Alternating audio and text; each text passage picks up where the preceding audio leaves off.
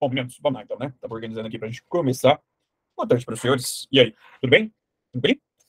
Galera, semana passada a gente tinha conversado sobre a parte do sistema respiratório. Já tinha falado com vocês sobre as funções, né? As classificações que a gente tem em relação ao sistema respiratório. A gente comentou no finalzinho, né? Da aula sobre algumas doenças que estão associadas ao sistema respiratório. E dando sequência ao nosso conteúdo, na aula de hoje, vamos conversar sobre outro sistema, o sistema circulatório. Bom, para que, que serve o sistema circulatório, galera? A primeira função, e a mais óbvia de todas, é circular, circular algumas substâncias, né? E aí a gente tem o transporte de nutrientes que acontece no nosso organismo. Esse transporte de nutrientes, ele vai acontecer é, tirando os nutrientes do seu intestino, que é absorvido lá, né, a partir do processo de digestão, e levando isso primeiro para dentro do fígado. Lembra que a gente falou sobre esse negócio? Primeiro leva para o fígado para depois levar para o corpo como um todo. Então, o sistema digestório, ele faz a absorção e depois faz esse processo de é, transporte até o seu corpo como um todo, utilizando o sistema circulatório para isso. Outra coisa, regulação da pressão arterial. Pressão arterial é a força que o sangue exerce na parede da artéria quando você tem a contração e o relaxamento do músculo do coração. A gente chama contração de sístole, e a gente chama esse relaxamento de diástole. Então, quando eu tenho sístole, a pressão eleva. Quando eu tenho diástole, a pressão abaixa. Quanto gira essa né, pressão dentro de uma normalidade? Depende. Depende da idade. E uma pessoa que esteja dos seus 14 até os seus 55 anos, qual é o valor de referência? E fala pra mim, quando eu espero sua pressão? Tem repouso. Isso, Isabela, obrigado, né? É, 12 por 8, né? Famoso 12 por 8. Então, uh, Ananias e, e Pedro, não é 12 por 8. Toma cuidado com isso em uma prova, especialmente se for uma prova de segunda fase que você vai fazer. A pressão, galera, é 120 por 80. Professor, mas todo mundo fala 12 por 8, ok. Todo mundo fala 12 por 8 e na linguagem comum, né, na, sem ser na linguagem técnica, ok, beleza. Agora, do ponto de vista técnico, está errado. O certo é 120 por 80, porque a medida é milímetros de mercúrio. Se for centímetros de mercúrio, aí o 12 por 8 ele fica correto, tá? Não é, professor, mas é só cortar o zero. Não, não dá para cortar o zero, porque isso não é uma divisão. Isso reflete duas pressões. 120, a pressão arterial, né, sistólica, e 80, a pressão arterial diastólica. A sístole, contração, diástole, relaxamento. Só que esse valor de 120 por 80 é numa situação de repouso. Quando você faz exercício físico, o que espera que a pressão faça? Ela aumente. E por que, que ela tem que aumentar? Porque quando a pressão aumenta, a velocidade de condução do sangue também aumenta. Como assim?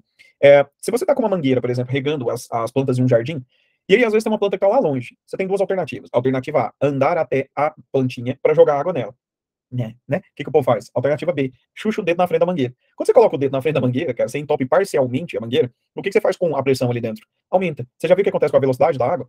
Ela vai mais rápido e, portanto, ela vai mais longe também. Traz isso para dentro dos seus vasos sanguíneos. Numa condição em que você faz um exercício físico, a contração parcial que acontece com uma redução do, do diâmetro ali dentro dos vasos, ele vai aumentar a velocidade de condução do sangue. Isso é bom, porque eu consigo levar oxigênio e nutrientes de maneira mais rápida. Com mais oxigênio mais nutrientes que estão sendo levados para dentro do seu uh, corpo de maneira mais eficiente, eu consigo melhorar a sua taxa metabólica, por exemplo, durante o exercício. Por isso que para quem tem pressão baixa, fazer exercícios físicos não é uma coisa tranquila, né? Você põe um indivíduo para correr, por exemplo, e vai, na volta, você olha para ele, tá parecendo cosplay de Mortal Kombat, né? Finish him. Você o menino tá dando aquela balançada assim e cai desmaiado muitas vezes. Se algum dia na sua vida, criatura, você precisar prestar os primeiros socorros para uma pessoa que está com pressão baixa, uma coisa que você tem que fazer é pedir para essa pessoa ficar numa posição mais horizontal. Tá? Como? Se ela estiver sentada, por exemplo, deite essa pessoa, ou se não tiver como deitar, peça para ela baixar a cabeça e colocar o peito o mais próximo possível da altura do coração, descendo e colocando a cabeça próximo dos joelhos. Para que fazer isso? Quando você faz isso, você mantém uma postura mais linear entre os dois, o que facilita a chegada do oxigênio e evita um desmaio. Nunca levante essa pessoa. Se você levantar essa pessoa, o oxigênio vai faltar no cérebro, ela vai cair desmaiada no chão. Beleza? Outra coisa que a gente tem é que o sistema circulatório é responsável por fazer é, o carregamento dos hormônios do local de produção, que são as glândulas, até o local de atuação. Então, por exemplo, uma testosterona, ela é produzida lá dentro do testículo, mas ela vai atuar no corpo como um todo. E como é que ela faz para passear e chegar até o pelo, por exemplo, da barba de uma pessoa através da corrente sanguínea? Uma outra coisa que o sistema circulatório faz é ajuste da regulação da temperatura do nosso corpo. Se há um acidente, por exemplo, e a pessoa tem uma hemorragia, uma das coisas que essa pessoa vai sentir, qual é? A primeira coisa que essa pessoa, quando tem uma situação dessa, ela sente? Dor. Tá perdendo sangue, tá tendo uma fratura, por exemplo, causando sangramento. Outra coisa que essa pessoa sente, frio. Tá? E aí, quando o pessoal chega para fazer o resgate, no SAMU, de Bombeiros, por exemplo, eles sempre vêm e enrolam, cara, num troço, um papel alumínio, já viu? Parece que lá vai levar pro forno, depois passar a criatura, né? Você enrola o corpo dele inteiro naquele papel, para quê? Para manter a temperatura corporal. Porque a temperatura do seu corpo é garantida por meio do fluxo sanguíneo em algumas partes específicas. Na prática, acho que todo mundo já percebeu isso. Quando você está em um ambiente muito quente, o que, que acontece com os vasos sanguíneos da pele? Dilatam. E essa dilatação dos vasos sanguíneos da pele, ele vai favorecer o fluxo sanguíneo na região mais central e diminuir o fluxo sanguíneo na região mais periférica. Isso vai diminuir, galera, a perda de calor para o meio. Então, vai dissipar menos calor. Quando você está em um ambiente que está Uh, aliás, vai dissipar mais calor na situação de calor, de temperatura quente, né? Se você está em um ambiente frio, os vasos sanguíneos, eles dilatam. Aliás, eles contraem, perdão. E aí, contração dos vasos sanguíneos numa região de frio, então frio contrai, calor dilata. A mão fica gelada, tá? Então, você tem uma temperatura mais baixa, vaso sanguíneo diminui, fluxo sanguíneo menor na pele, provoca um processo, então, de é, vasoconstrição periférica, provocando a retenção do calor metabólico. Numa situação de calor, vasodilatação periférica dissipa calor para o meio e ajuda nessa questão da regulação corporal. E uma outra coisa, seu sistema circulatório é responsável por fazer ajustes fisiológicos, por exemplo, na situação de hemorragia. Um dos componentes do sistema circulatório é o sangue, que vocês vão ver, esse slide foi enviado para vocês aí na semana passada, e esse slide ele é um slide grande, porque ele tem três coisas dentro dele. Sistema circulatório, sistema, a parte de sangue e a parte do sistema imunológico. Só que sangue e imunologia, quem trabalha com vocês é o Edu, tá? Eu mandei esse slide para servir de suporte de estudo com vocês. Na aula de hoje, a gente vai conversar exclusivamente sobre o sistema circulatório, as partes do sistema circulatório, sangue e imunidade. Vocês vêm dentro da parte de histologia com o Eduardo. Beleza? Então, numa situação de hemorragia, cara, existe um conjunto de plaquetas que estão envolvidas diretamente com esse processo de regulação desse sangramento. Evitando o sangramento excessivo, você consegue fazer com que o sangue fique retido dentro da corrente sanguínea e, por consequência, esse cara não vai morrer, né, num sangramento qualquer. E em uma situação de exercício físico, a pressão arterial, a questão da regulação térmica, tudo isso precisa ser controlado pelo sistema circulatório também. Ok? Quais são os componentes do seu sistema circulatório, galera? O primeiro componente que a gente tem é o coração. O coração é uma bomba, na verdade, ele age como duas bombas, impulsionando o sangue. E esse sangue é impulsionado pelos vasos sanguíneos que estão espalhados pelo corpo, tá? E aí a gente tem artérias, veias e capilares, como sendo os vasos sanguíneos que estão presentes. Isso aqui é uma pessoa, uma foto real, né, de uma pessoa que teve é, uma técnica chamada plastinação, onde injeta dentro dos vasos sanguíneos um polímero e depois dissolve o corpo desse cara com uma solução de ácido hexafluorídrico. E aí o que sobra são os vasos sanguíneos que foram montados, né, sobre o esqueleto de outro indivíduo para garantir essa, é, essa arquitetura que você está vendo aí, né. Então aqui a gente consegue ver o emaranhar da rede de vasos sanguíneos que é responsável por fazer essa distribuição do sangue. E a gente tem o sangue, que é ah, formado pelo plasma e pelos elementos figurados, que são as partes, né, líquida e sólida que estão presentes na corrente sanguínea. Beleza? Então, beleza. O coração, então, galera, ele vai funcionar como duas bombas que vão propulsionar o sangue, fazendo esse processo de circulação. E aí a gente tem o tamanho do coração de um indivíduo, ele é aproximadamente equivalente ao seu punho fechado. Talvez você já tenha escutado isso, e faz sentido, tá? O tamanho médio do coração, ele é o tamanho, de fato, do punho fechado. A gente tem câmaras cardíacas. Como é que chama as câmaras de cima aqui, ó? A gente chama elas de átrios. As câmaras de baixo são chamadas de quê? Ventrículos. Então eu tenho o átrio aqui e o ventrículo de cá. Ó, cuidado com a orientação do desenho. Se você olhar o esquema, e na aula passada eu falei isso para vocês, o lado direito do seu, uh, aqui, do seu corpo, ele representa o lado esquerdo do desenho que você está vendo. E por que disso? Porque essa é uma vista anterior. É como se a pessoa estivesse de frente para você. O seu lado direito, se você vira, ele vai para o esquerdo, né? Então, o lado esquerdo do coração, ele representa o lado direito do seu desenho, tá? E aqui a gente tem em cima o átrio esquerdo, aqui o ventrículo esquerdo. Aqui eu tenho o átrio direito, aqui eu tenho o ventrículo direito. E a gente tem os vasos sanguíneos que chegam e que saem de dentro do coração. E aí, como é que chama esse vaso que está chegando aqui no átrio direito? Ó, essa é a veia cava. São duas. A veia cava superior e aqui embaixo, ó, eu tenho a veia cava inferior. A veia cava superior é responsável por drenar o sangue que está presente nos membros superiores, tórax e cabeça. Isso drena e vem para dentro do coração, entrando pela veia cava. A veia cava inferior, ela drena o sangue que vem das pernas e do abdômen, trazendo esse sangue para dentro do átrio, que depois leva para dentro do ventrículo e bombeia isso para fora do coração por meio de quem? Da artéria pulmonar, tá? A artéria pulmonar, ela se ramifica e vai uma para o pulmão esquerdo, outra para o pulmão direito aqui. O sangue volta pelo coração. Quando ele volta, ele volta por meio de quem? De uma veia. Esta é a veia pulmonar, que traz sangue para o átrio esquerdo, depois o ventrículo esquerdo bombeia sangue por meio dessa artéria aqui, ó, que está saindo daqui. Como é que chama essa artéria? A aorta, tá? A artéria mais calibrosa presente no nosso corpo. O coração, então, ele fica no lado esquerdo do peito. Você já deve ter escutado várias vezes falando a respeito disso, né? Tem ter uma música que fala, amiga, é coisa para se guardar do lado esquerdo do peito. E aí, o coração ele fica no lado esquerdo? Não, ele fica no mediastino. Perfeito, Tony. O mediastino, ele está na região central. E na aula passada, na parte do sistema respiratório, eu até mostrei para vocês que o pulmão direito e o pulmão esquerdo, eles são ligeiramente diferentes por conta do, do seu coração. Ele tem uma incisura cardíaca lá dentro do pulmão que ele vai se encaixar. E aí, o lado esquerdo, ele vai ser projetado mais, uh, de maneira mais intensa. O ápice cardíaco, ele fica pro lado esquerdo. Mas o coração, na verdade, fica onde? No centro. Então, muitas vezes você vê o povo né, em novela, por exemplo, sei lá, o cara vai simular um infarto, aí você vê o cara levando a mão assim do lado e segurando.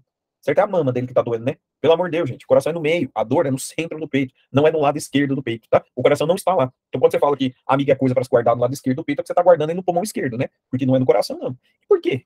Qual é o motivo que explica isso aqui, ó? Por que, que o ápice cardíaco é voltado para o lado esquerdo? Por que, que, o coração fica no centro, mas ele é ligeiramente deslocado para o lado esquerdo ali? Lembra por quê? Qual é a razão que explica isso? E aí? A razão, galera, a gente consegue ver nesse desenho aqui, ó. Essa é a parede muscular do ventrículo esquerdo. Essa é a parede muscular do ventrículo direito. E aí, qual dos dois tem uma parede mais espessa, mais grossa? O ventrículo esquerdo. Porque ele tem que propulsionar, ele tem que impulsionar esse sangue para o corpo como um todo. Então a parede dele tem que ser mais grossa para ele conseguir fazer esse processo de contração. Ele manda sangue para o corpo inteiro, a parede é mais espessa, é, em média, duas vezes mais espessa do que aqui, e portanto, a gente tem esse ápice cardíaco virado para o lado esquerdo, pra, é, por conta dessa arquitetura que o coração iria possuir. Beleza? A circulação, galera, ela vai ser dividida em duas. Você tem a grande circulação, também chamada circulação sistêmica, e a pequena circulação, também chamada circulação o quê? pulmonar. Olha isso aqui. O sangue está vindo do corpo inteiro e penetra no átrio direito. E aí a gente tem o sangue com a representação em azulzinho. O que significa esse sangue aqui, galera? Com essa representação azul. azul. Esse é o sangue o quê? Venoso. O sangue venoso entra no átrio direito, do átrio direito ele desce para o ventrículo direito, e do ventrículo direito ele é bombeado para fora do coração. E aí ele é bombeado por meio de quem? Da artéria pulmonar. A artéria pulmonar leva esse sangue venoso para os seus pulmões. E aí a gente tem a circulação, né, fazendo esse processo de troca gasosa aqui acontecendo. Depois que essa troca aconteceu, o sangue vai sair do átrio, uh, saiu do ventrículo direito, vai sair do pulmão e entrar no átrio esquerdo. E aí vai entrar no átrio, como é que chama esse vaso sanguíneo que traz sangue para dentro do coração, lembra? Essa aqui é uma veia, tá? A veia pulmonar penetra no átrio direito, no átrio esquerdo, perdão, e do átrio esquerdo ele vai para o ventrículo esquerdo. Do ventrículo esquerdo ele sai pela aorta, e aí a aorta distribui isso para o corpo como um todo. Acontece mais uma vez as trocas gasosas, e esse sangue agora ele volta, só que ele volta passando, né, por meio das veias cavas até entrar no seu átrio direito. Então qual é a diferença que a gente tem entre as duas circulações? Ó, a pequena circulação começa com o sangue saindo daqui, ó, do átrio direito. Átrio direito, ventrículo direito, ventrículo direito, artéria pulmonar, e ele vai para o pulmão hematose acontece, volta pelo aqui uh, por meio da veia pulmonar e ela volta para o átrio esquerdo. O átrio esquerdo recebe esse sangue, só que agora um sangue do tipo o quê? Arterial. Fecha a pequena circulação, a circulação chamada de pulmonar. Inicia outra circulação. Como é que chama outra circulação? Sistêmica.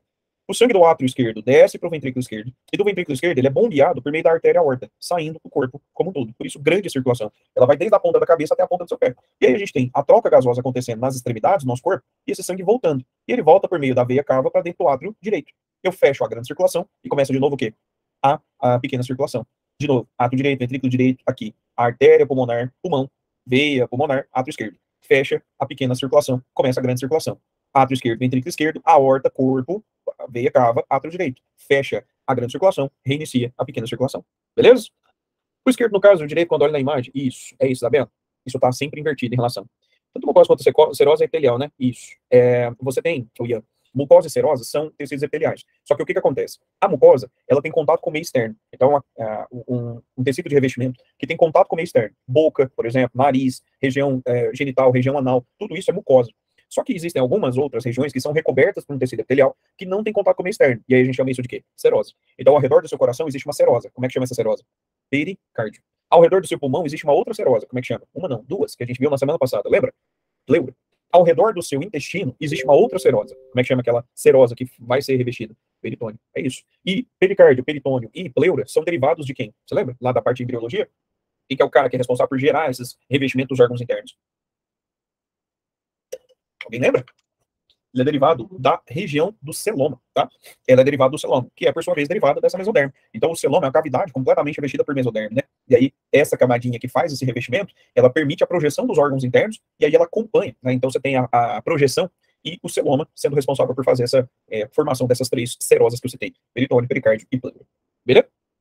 Nada.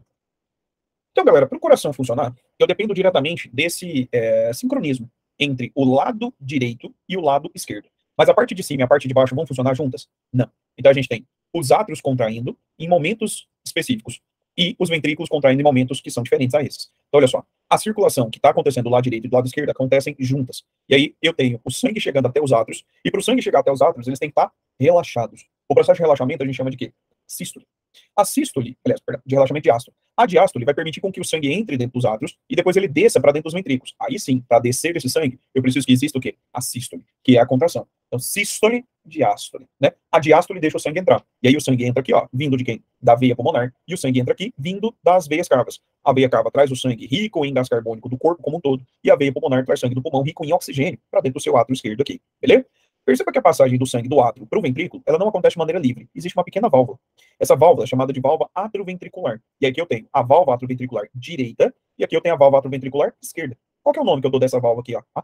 A válvula atrioventricular direita é chamada de tricúspide. Tá? A tricúspide recebe esse nome porque quando a gente anatomicamente olha ela, você vê que ela é formada por três válvulas. A válvula é o conjunto de válvulas. As pequenas válvulas vão compor a estrutura grande que separa o átrio do ventrículo. Para o sangue sair daqui e descer para cá, o que, que, eu espero que aconteça com isso aqui? Ó? Ele abre. A abertura vai deixar o sangue descer. Quando o sangue desce, saindo do átrio e vindo para dentro do ventrículo, a gente tem sístole atrial, fazendo o sangue ser expulso para dentro do ventrículo. Certo? Para isso acontecer, o ventrículo tem que estar o quê? Contraído ou relaxado? Relaxado. Então eu tenho sístole atrial, ao mesmo tempo que há diástole ventricular. Essa diástole vai deixar o sangue descer para dentro dos ventrículos, para ele se encher de sangue. Logo na sequência, o que, que eu espero que aconteça aqui, ó, com as válvulas atrioventricular? esquerda, que está de cá, né, que a gente chama ela de bicúspide ou mitral, e a direita, que é a tricúspide, né, ou válvula atrioventricular do tipo direita. O que, que eu espero que aconteça com essas válvulas agora? Elas fechem. O fechamento das válvulas, galera, vai evitar que quando o ventrículo entrar em sístole, o sangue suba de novo para dentro do átrio. O sangue agora tem que sair de dentro do coração. E para sair esse sangue de dentro do coração, eu preciso que a válvula se feche, ao mesmo tempo em que a abertura dessa outra válvula aqui, ó. Essa é a válvula pulmonar e desta outra válvula aqui, a válvula aórtica. A abertura da válvula pulmonar e da válvula aórtica, quando o coração entrar em sístole, ele vai ser expulso de dentro do seu coração, levando esse sangue para o corpo inteiro por meio da aorta e levando o sangue para dentro do pulmão por meio da artéria pulmonar. Veja então que a parte de cima e a parte de baixo não contraíram juntas. Se elas contraírem juntas, elas vão fazer isso aqui. Ó. E aí o sangue faz o quê? Ele desce do átrio para o ventrículo e logo na sequência ele sobe do ventrículo para o átrio. Eu não tenho eficiência cardíaca nesse caso. O que, que eu espero que aconteça, galera? Eu espero que haja o um processo em que o átrio direito e o átrio esquerdo contraem sístole juntos. Ao mesmo tempo, o ventrículo está relaxado. Quando ele impulsiona o sangue para o ventrículo, o ventrículo relaxado recebe esse sangue e aí eu tenho sangue descendo. Logo na sequência, o que, que acontece? Eu tenho diástole atrial, sístole ventricular, para impulsionar o sangue para fora do coração. E aí eu tenho a parte de baixo e a parte de cima contraindo em momentos diferentes. Mas o lado direito e o lado esquerdo, eles fazem essa impulsão juntos, tá? Fazendo o que a gente chama de ciclo cardíaco. Quantas vezes isso aqui acontece? E aí? Em um minuto. Quantas vezes isso aí vai acontecer? Numa situação de repouso, galera, isso vai acontecer aproximadamente entre os seus uh, 60 a 80 vezes por minuto, tá? Na hora que você faz um exercício físico, o que, que acontece com a frequência cardíaca? Ela aumenta, tá? A gente consegue perceber isso acontecendo, galera, quando você olha, por exemplo, uma ressonância magnética, tá? Então, se você pega uma ressonância, olha só, né? Aqui a gente consegue ver o coração batendo e impulsionando o sangue. Aqui a gente tem, ó, o coração com sístole e depois a outra parte, a parte inferior, entrando em sístole também. Veja que as duas partes do coração, elas contraem juntas, mas a parte de cima e a parte de baixo não. E como é que a gente sabe que os dois lados batem junto? Essa é a aorta. Essas são as artérias pulmonares. Veja que elas ficam brancas ao mesmo tempo. Por que, que elas ficam brancas juntas? Isso é sinal de que o sangue está sendo impulsionado para ali. Lembra que eu falei para vocês que o ventrículo esquerdo é mais grosso? A gente consegue ver isso aqui, ó. Olha a parede do ventrículo esquerdo, quão mais espessa ela é, quando comparado com a parede do ventrículo direito, tá? Por conta do impulsionar de sangue que está acontecendo ali. Então o coração ele faz a contração acontecer desse jeito aqui. Beleza? Tranquilo? Ô Ian, é, o sopro cardíaco, ele vai acontecer, a gente vai conversar sobre isso mais para frente lá, mas já que você trouxe a pergunta, essas válvulas, elas vão ter que abrir e fechar de maneira sincronizada. O fechamento e abertura dessas válvulas, ela tem que acontecer de maneira bastante perfeita. Só que algumas pessoas, quando você olha a válvula, ela fecha parcialmente. Repara que ela não fechou por completo, tem um espacinho. Quando isso acontece, o que, que permite acontecer? Né? Quando esse fechamento não ocorre de maneira correta. Quando o ventrículo fizer a contração, o sangue que deveria ser expulso por meio aqui da artéria a, pulmonar, ele vai voltar para o átrio acima. E aí o sangue ele tem um refluxo. Esse refluxo, né? Isso, prolapso de válvula, anemias. Esse refluxo tá, que está acontecendo, ele provoca um dos tipos de sopro cardíaco. E por que o nome sopro, galera? É, existe um som característico que esses, uh, esse sopro ele provoca. Então, você já viu quando você chega lá no médico, ele vai escutar o coração, ele coloca o estetoscópio no ouvido e ele coloca em quatro pontos das bulhas de ausculta, né? Então, ele vai avaliar cada um desses caras de maneira é, correta. Na hora que ele pega e faz essa análise, ele espera escutar o barulho individualmente de cada uma dessas válvulas. E faz aquele barulho, tum tá, tum tá, tum tá, tum tá, tum tá, né? Abertura e fechamento das válvulas. Quando você escuta o som de alguém que tem sopro, isso gera um murmúrio da válvula diferente. Tá? Então, em vez de fazer o tum tá, ele escuta o barulho do retorno, tum tá, tum. Esse barulho do meio é sinal de que o sangue ele tá voltando existem diversos tipos de sopro que podem ser possíveis. Existe um sopro que é o mais grave de todos. Eu vou te mostrar isso aqui mais para frente, um slide que fala sobre isso, que é quando o bebezinho nasce, existe uma comunicação entre os dois átrios. Quando esse sopro está presente, o sangue do átrio esquerdo e do átrio direito, eles podem se misturar. E esses sangues, eles têm um deles venoso e o outro é arterial. E aí, nesse caso, diminui a eficiência da circulação. Beleza? Deixa eu ver se eu entendi. Átrios se contraem e relaxam juntos, enquanto os ventrículos não. É, Ana, os átrios e os, os, ventrículos, direito e esquerdo, eles fazem a parte direita e a parte esquerda uma contração ao mesmo tempo. Só que a parte de cima e a parte de baixo, não. Então, tipo assim, os dois átrios fazem isso aqui, ó. Eles contraem juntos. Os dois ventrículos fazem isso aqui, ó. Eles contraem juntos. Só que o átrio e o ventrículo fazem isso aqui, ó. Beleza? Eles contraem em momentos diferentes. Então, as duas partes de cima contraem juntos. As duas partes de baixo contraem juntos. Mas a parte de cima e a parte de baixo não podem contrair ao mesmo tempo. Elas contraem em momentos que são diferentes. Sacou? Uh, quem tem sopro pode fazer exercício com maior intensidade? Isabel, depende do sopro, tá? Às vezes, dependendo do sopro, aquele último que eu citei com vocês, que mistura o sangue, ele diminui muito a eficiência é, respiratória e a, a, eficiência de oxigenação dos tecidos. Então, nessas pessoas, ela pode passar mal e, em casos extremos, até desmaiar, tá? Nasci com sopro, hoje não tem mais. Quer ver? Isso é relativamente comum. Sopro é um problema que boa parte da população mundial apresenta, mas a imensa maioria dos sopros são discretos. Então, esse prolapso, às vezes, ele é muito pequeno. Isso não interfere muito sobre a, a qualidade de vida da pessoa. Agora, existem alguns sopros que são graves, e aí, quando esse sopro é grave, ele precisa ser investigado. Ah, o que, que, pode ser feito em casos extremos? Existe até a necessidade de fazer é, uma intervenção cirúrgica para substituir a válvula que está defeituosa. Tá? Ana, qual que é a causa do sopro? A causa do sopro é principalmente problemas de desenvolvimento da, daquele indivíduo. Então, a maioria dos sopros são de nascença. Existem sopros que podem ser adquiridos. E aí, quais são as causas desses sopros adquiridos? Algumas. às vezes, degeneração da válvula, e essa degeneração ela pode acontecer, por exemplo, por infecções. É, a bactéria que causa cárie, a gente conversou até sobre isso, ela é responsável por provocar, em algumas pessoas, lesão do coração. Ela pode se alojar lá na região da, a, da válvula e causar uma degeneração, provocando um quadro né, de miocardite ou de valvopatia causada por conta dessa bactéria. Então, uma inflamação do coração e uma inflamação, né, degeneração valvar, que pode ser causada por uma bactéria que se aloja naquele lugar, tá? É, a, pessoas hipertensas podem ter desenvolvimento só por conta de alterações do coração, né? Às vezes dilata o coração, e aí os músculos, chamados músculos papilares, eles diminuem um pouco da eficiência de fechamento, porque o coração fica maior, mais estendido, isso por conta de uma hipertensão. É, que mais pode causar? Às vezes esse indivíduo ele pode desenvolver é, COVID. COVID tem trabalhos mostrando que pode causar alterações do, do coração, inclusive também alterações das válvulas cardíacas. É, problemas autoimunes, então alguns tipos de reumatismo, eventualmente, né, podem provocar essa destruição. Enfim, tem que ser investigado para saber a causa. Mas a causa mais comum é justamente a questão de nascença, beleza?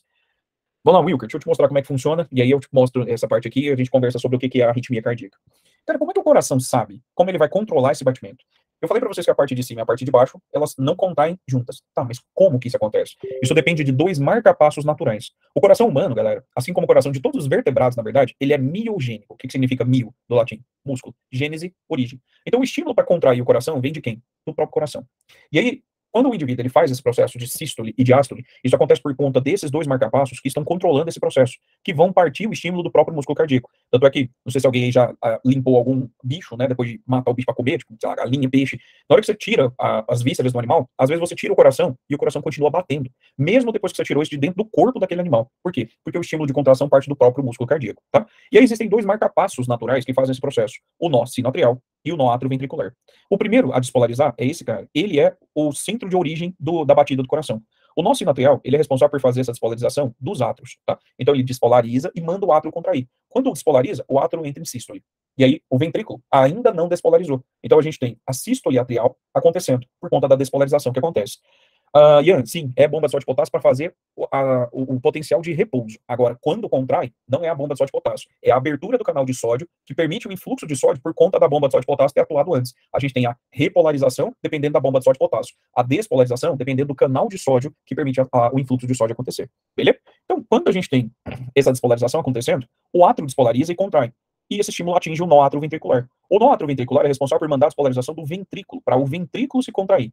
Só que a questão, galera, é que esse estímulo, quando ele chega até esse cara, ele não manda a despolarização de uma vez. O que, que ele faz? Essa despolarização que causou essa contração, existe um pequeno atraso na condução disso para o ventrículo, de cerca de 0,2 segundos. Esse atraso de 0,2 segundos, ele é suficiente para fazer o quê? Esse átrio que tinha despolarizado, gradativamente ele repolariza e começa a fazer o processo de relaxamento. E aí, logo na sequência, quando ele está relaxando, o ventrículo entra em sístole. Por quê? Porque aquele atraso permite com que agora a gente desça todo o sangue do átrio para dentro do ventrículo, o ventrículo relaxado recebeu esse sangue. Logo na sequência agora, a válvula atrioventricular fecha e o ventrículo faz o quê? Contrai. Quando ele contrai, esse atraso faz a sístole ventricular demorar um pouquinho mais para acontecer do que a sístole atrial, permitindo a sístole atrial, diástole ventricular. Depois eu tenho sístole ventricular e diástole atrial. Logo na sequência, o que, que eu vou fazer de novo? Sístole atrial, diástole ventricular. Sístole ventricular, diástole atrial. E aí o negócio ele vai acontecer desse jeito. Isso espera que seja coordenado em um ritmo que vai variar ao longo né, da, das suas atividades. Então, por exemplo, né, eu estou aqui com o Apple Watch, olhando aqui a minha frequência cardíaca nesse momento, eu estou sentado aqui, né, dando aula para vocês, mas não necessariamente em repouso. Está avaliando aqui, ó, minha frequência cardíaca agora deu 89 batimentos por minuto. Ó.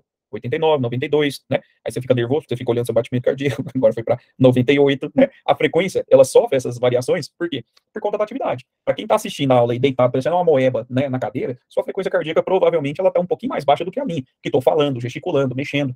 Se você levanta e vai fazer um exercício, essa frequência ela vai aumentar. Ou seja, os batimentos cardíacos são coordenados por esse cara, tá?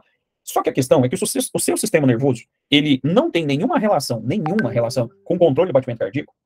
E aí, sim ou não? Tem. Ele não manda o coração bater, tá? O coração é miogênico. Mas o que o sistema nervoso então controla? A frequência, tá? A contração e relaxamento dependem do próprio músculo cardíaco, mas quantas vezes por minuto isso vai acontecer depende da ação do sistema nervoso autônomo simpático e parasimpático. Você lembra desses carinhas? O que é o sistema nervoso autônomo simpático? É aquele cara que descarga, né, ele gera uma descarga de adrenalina, ele descarrega adrenalina na corrente sanguínea. E o que, que isso faz? Aumenta a frequência cardíaca. Isso depende de um nervo chamado de nervo cardíaco. O nervo cardíaco tem ação cardioaceleradora, ou seja, ele vai aumentar a frequência cardíaca. Quando é que eu espero que esse nervo cardíaco atue? Quando é que eu tenho que aumentar a frequência cardíaca? Numa situação de repouso ou numa situação de exercícios? Exercício. Quando é que eu espero que ele uh, seja uh, estimulado? Numa condição de relaxamento ou numa condição de estresse? estresse. Quando você é submetido a uma condição estressante, a frequência cardíaca aumenta, porque com um fluxo sanguíneo mais intenso, eu consigo ou enfrentar aquela situação de medo, ou fugir daquela situação de perigo ao nosso organismo, fazendo com que a frequência cardíaca seja mais acelerada. Então, né, um belo dia você está aí na sua casa, e aí você resolve sair de noite a pé, na hora que você vira a esquina, você vê dois caras numa moto, né, vindo no seu rumo. Nesse momento, o que, que acontece com a sua frequência cardíaca? Ah, né, vai lá em cima. Por quê? Porque eu tenho o nervo cardíaco com essa ação do sistema nervoso autônomo simpático, gerando uma despolarização mais intensa, mais com frequência maior, né, lá na região do seu coraçãozinho. Beleza? Uh, coração de porco é igual ao nosso? Sim, Rafael. Bem, bem, bem, bem parecido, tá? Tanto é que é, no começo do ano agora, não sei se vocês lembram, mas eles fizeram o primeiro transplante bem sucedido de porcos para humanos, através de uma técnica que é, anulou algumas proteínas que estavam relacionadas com rejeição. Infelizmente, o cara acabou falecendo depois, né? Mas era uma única, era a última alternativa que ele tinha, e isso foi algo bastante interessante para saber, né? Que se no futuro isso de fato pode ser algo mais viável, tá? É, em alguns casos para de uma vez, é isso mesmo. Então, a bomba de potássio para sinalizar que ele tem que ficar em repouso? Não, Ian, não é bem isso. O que que acontece é que a bomba só de potássio, ela quando está atuando, ela faz o seu coração, assim como qualquer outra parte do sistema nervoso, e aí tem uma parte do sistema nervoso dentro do seu coração, ele entrar no que a gente chama de potencial de repouso, tá? Lá na parte do sistema nervoso a gente vai pensar melhor sobre isso. O potencial de repouso, ele é, prepara a sua célula para despolarizar quando houver um estímulo. Então, a bomba de sódio de potássio joga três sódios para fora e dois potássios para dentro. Quando ela faz isso, três sódios para fora e dois potássios para dentro, ela atinge, a gente atinge por parte dessa célula um potencial de é, pronto para despolarizar. Então, a gente chama isso de potencial de repouso. Na hora que você tem o estímulo, o canal de sódio, ele abre abertura do canal de sódio, o sódio que está maior quantidade fora, ele entra. E a entrada do sódio despolariza. E aí essa despolarização vai causar o processo de contração do músculo. Miogênico, Maria Clara, significa que o coração, o estímulo, parte do próprio músculo cardíaco. Então, o coração ser miogênico significa que para o coração contrair, ele depende do próprio músculo como origem do estímulo. Aí eu falei com vocês a respeito de que o seu coração, ele depende dele mesmo para bater, mas a frequência é controlada pelo sistema nervoso, tá? E aí eu tenho um outro nervo, o nervo vago, que tem uma ação cardiomoderadora, tá? É, ele vai diminuir a frequência cardíaca, fazendo com que o número de vezes que o coração bate, ela diminua. Existe uma síndrome que a gente chama de síndrome de vaso vagal. Alguém que tem? Ou já ouviu falar a respeito dessa síndrome? Ó, a Giovanna e a Bruna disseram que tem. O que, que acontece em quem tem essa síndrome de vaso vagal? Isso é uma é, alteração do desenvolvimento do nervo vago e da atuação do nervo vago que faz ele uh, ganhar atividade em momentos em que isso não deveria acontecer. O nervo vago, ele é responsável por fazer essa diminuição da frequência cardíaca. E aí? E aí que, se o nervo vago está mandando despolarizações em alguns momentos onde isso não deveria acontecer, a frequência cardíaca cai de uma vez. E o que, que isso provoca? Desmaio, tá? Principal consequência da síndrome de vaso vagal. O indivíduo começa a ter a redução da pressão, redução da frequência cardíaca, começa a ficar tonto e às vezes até desmaio. As duas que falaram aí, e aí? Quantas vezes vocês já desmaiaram, meninas? Já? Ah, já perderam a conta? Só uma vez? Oh, foi só uma vez a Giovana. Bruna? Foram muitas, né?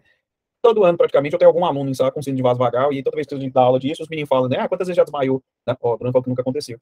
Na maioria das vezes, cara, já tiveram várias uh, crises de desmaio, né? E aí, é, nesses momentos em que essa despolarização ela vai acontecer, isso provoca uma frequência alterada, uma redução da frequência cardíaca, e isso dificulta ah, com que a pessoa, às vezes, consiga manter essa frequência dentro de uma normalidade. É isso aí. E aí, quando sente que vai desmaiar, é isso que você tem que fazer. Para, senta, ou deita, de preferência, né? E coloque o coração, o seu coração, numa mesma altura, mais ou menos, da cabeça, para limitar essa chance de desmaio. Se você tiver que prestar primeiro socorro para uma pessoa que tem síndrome de vaso vagal, se ela quiser começar a desmaiar, se tiver como deitar, deita e levante as pernas dessa pessoa. Quando você levanta as pernas, você mantém o sangue mais nas regiões centrais e consegue minimizar esse risco de desmaio. Tá? Isso é mais comum em mulher, porque todos que eu conheci tinham eram mulheres. Vitor, eu nunca li nada a respeito dessa frequência. Mas tá aí um trem que eu também já reparei. Agora você tá falando que eu fui parar pra pensar, né? De fato, normalmente, as pessoas, na, quando eu pergunto, a maioria é mulher. Vou dar uma pesquisada depois na internet se existe uma é, estratificação a respeito disso, com uma frequência maior em indivíduos do sexo feminino. Ok? Então a gente tem, galera, aqui, ó, o nó é, sinoatrial, ele manda os átrios contrair. O átrio ventricular, ele faz a, o processo de descida da informação através dos chamados feixes de His. E esses feixes de His, que são os fascículos átrio-ventriculares, né, eles vão descer e interiorizar esse estímulo. E aí a gente tem a ramificação com a formação das chamadas fibras de Purkinje, né? Ou ramos subendocárdicos, como o termo mais técnico aqui. Por que feixe de Ries, fibra de Purkinje? Qual é o lance a respeito disso? É o nome dos pesquisadores que descreveram isso, tá? Só que hoje tem um esforço internacional para tentar tirar nomes e homenagens a pesquisadores, né? E dar um nome que seja mais genérico, porque muitas vezes outras pessoas também colaboraram e essas pessoas não são citadas, beleza? Então aqui a gente tem o feixe de Ries, o fascículo ventricular, e aqui a gente tem os ramos subendocárdicos, também chamados de fibras de Purkinje, né, cada uma dessas, que são responsáveis por estimular esse processo de controle. E aí alguém tinha me perguntado, professor, e a arritmia cardíaca? A arritmia cardíaca, ela é causada quando esses dois marcapassos, eles não funcionam no ritmo que era esperado que acontecesse. Ou quando a condução deles para dentro do ventrículo, por alguma razão, ela tem alguma alteração, fazendo com que haja um atraso de condução que faz a frequência ser alterada. Então eu esperava que o coração ele fizesse a contração desta forma aqui. De repente, algumas pessoas, essa contração ela acontece vigorosamente duas vezes, e o coração ele dá uma parada. A gente tem a chamada extrasístole que acontece. Então acontece a contração, na hora que o ventrículo estava relaxando, ele dá uma nova contraída. Isso causa uma extrasístole que provoca na pessoa como se uma sensação de um tranco no peito. Então parece que o coração ele dá uma, uma travada, assim, né? Essa pessoa sente. E temporariamente, ela tem a sensação de que parece que o coração pulou um batimento. Essas extracístoles, elas estão muito relacionadas a estresse. Tá? Então, se você está muito estressado, normalmente o número de extracístoles aumenta. É normal ter ao longo do dia algumas extracístoles. O que não é normal é elas serem muito frequentes, por exemplo, elas representarem mais de 10% das batimentos cardíacos com extracístoles, e o que não é normal também é que elas sejam agrupadas. Se elas forem isoladas, então eu tive uma. Aí daqui 3, 4, 5 minutos tem outra extracístole. Depois daqui uma hora tem outra, outra extracístole. Ok? O que não pode acontecer é que eu tenha uma atrás da outra, porque aí a eficiência circulatória diminui e essa extrasístole começa a gerar, gerar sintomas. O sintoma mais comum que essa extrasístole e essas alterações é, outras, né, que podem acontecer com a frequência vão gerar, é uma sensação de é, perda de consciência parcial. Então o indivíduo ele tem uma sensação de que parece que ele vai desmaiar e de repente ele volta, né? Ou às vezes ele desmaia mesmo. Todo desmaio precisa ser investigado, todo. Porque existem três causas principais para desmaio: alterações circulatórias, e aí a arritmia cardíaca pode ser uma delas, Alterações neurológicas podem provocar, ou alterações endócrinas podem provocar isso também, tá? São as três principais alterações que provocam um desmaio. Você precisa fazer uma bateria de exames para tentar identificar. Às vezes, teve uma, um desmaio, fez uma bateria de exame, vem tudo normal. E aí, qual foi a causa do desmaio? Aí você vai olhar, tem hipótese do desmaio idiopática. Né? Causa idiopática. O que, que é isso? Sabe o que significa uma coisa idiopática? É um nome bonitinho para eu não tenho a menor ideia do que, que foi que aconteceu. Né? Então, não existe uma causa aparente. Agora, se esse cara ele vai lá, faz, teve um desmaio, faz um eletrocardiograma e o eletro bem alterado, você consegue, às vezes, estabelecer a causa. A arritmia cardíaca está provocando desmaio por falta de oxigênio no cérebro daquele indivíduo.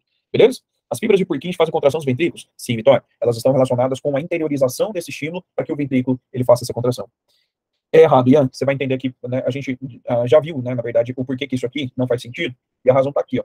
É, essa artéria que está saindo aqui, ó, essa é uma artéria que carrega sangue venoso. Ah, então aqui eu tenho o ventrículo direito mandando pela artéria pulmonar o sangue venoso para dentro do seu coração. Tá? Então a artéria pulmonar, ela carrega um sangue diferente. E outra, em bebezinhos, é, você tem a presença também dessa inversão, na, na, ideia de que artéria carrega sangue arterial e veia carrega sangue venoso. Por quê? Porque o sangue que vem aqui, ó, pela veia cava, ele já é um sangue oxigenado para o bebê. Beleza? O nosso atrial, ele fica na região mais medial, tá? Ele fica no meio, mais ou menos, entre os dois. Beleza, Vitória? Ele fica ligeiramente mais deslocado para cá, mas ele fica numa região mais próxima do meio. O outro componente que a gente tem, galera, é a artéria, a veia e o capilar, como sendo componentes né, desse sistema circulatório. Esses são os vasos sanguíneos que a gente tem. Comparando uma artéria, uma veia e um capilar, e aí, quem é o mais grosso de todos? artéria. Quem é o mais delgado? O capilar. A veia fica no meio lá, meio cá. Mas a gente tem outras coisas que mudam entre eles também.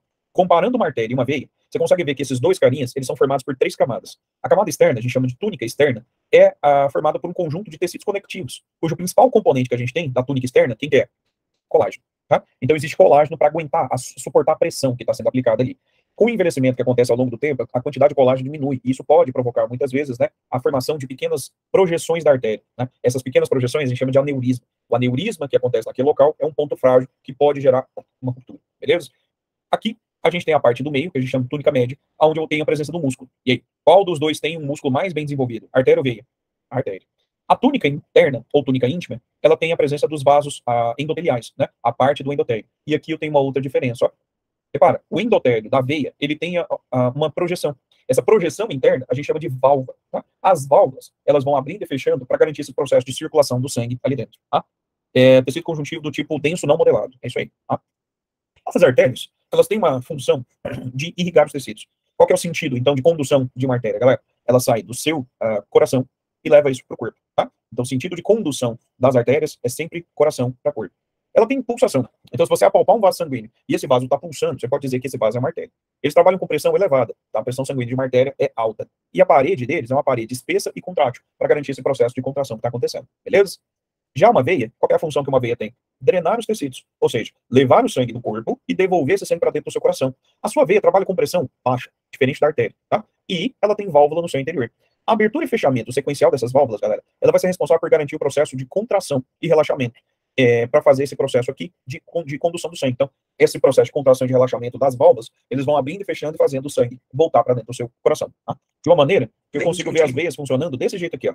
Essa é a veia, e veja que ela é contraída e relaxada por meio da musculatura lisa que fica ao redor. Quando a musculatura lisa contrai, o que, que acontece? Ela vai aumentar a pressão e a válvula abre. Logo na sequência, o que, que eu espero que aconteça com essa válvula? Deixa eu voltar aqui de novo. Ó, a válvula abre quando o músculo contrai, porque a pressão faz o sangue subir. E aí a válvula fica aberta, garantindo essa subida do sangue. Só que em algum momento a musculatura esquelética, ela relaxa. E o que, que a válvula faz? Fecha. A gente tem esse processo abrindo e fechando sequencialmente para garantir esse fluxo de sangue por dentro do seu, uh, da sua veia, voltando para dentro do seu uh, coração.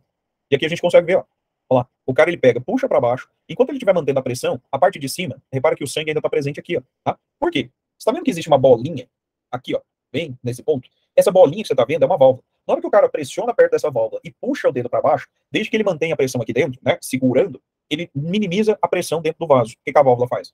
Fecha. Quando a válvula fecha, o sangue que está aqui em cima não volta. Por isso, voltando lá, ó, olha o que o cara está fazendo. Ele aperta e puxa. Quando ele puxa, o sangue não volta. Mas na hora que ele solta o dedo lá embaixo, você consegue ver que o sangue, logo na sequência, ele volta a subir. É isso que está por base, está por trás, quando você faz a coleta de sangue de uma veia. Você já viu? Toda vez que você vai fazer coleta de sangue, a pessoa lá, né, o, o técnico que faz essa coleta, ele coloca um garrote no braço, né, aperta o garrote e fala para você, aperta a mão. Por que você tem que apertar a mão? Para o sangue, a contração da musculatura, impulsionar o sangue no sentido ascendente. E aí eu vou fazendo a válvula fechar e empurrar o sangue para cima. O sangue acaba acumulando próximo do local onde o garroteamento aconteceu. E aí ele pega a veia que estava pequenininha e faz o que com ela? Dilata. Ela fica mais visível. Agora que ela está mais visível, você consegue introduzir a agulha lá dentro, canular para puxar o sangue e fazer a coleta. Na hora que você vai tirar a agulha, eu posso simplesmente puxar a agulha fora? Não, porque temporariamente, o que, aconteceu com a pressão na veia?